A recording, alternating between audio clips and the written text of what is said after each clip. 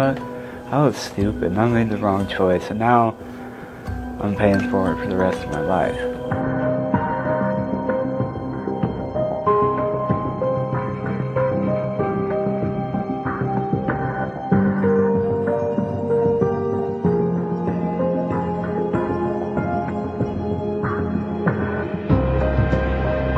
It looks amazing.